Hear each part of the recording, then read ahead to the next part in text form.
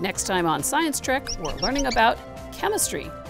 Chemistry is all about change. It helps us answer questions like what happens if you combine two different elements? Whoops!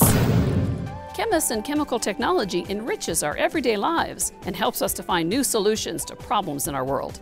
You can find out more about chemistry on the Science Trek website. Go to sciencetrek.org or watch us on your phone, tablet, computer, or television. Science Trek, explore your universe.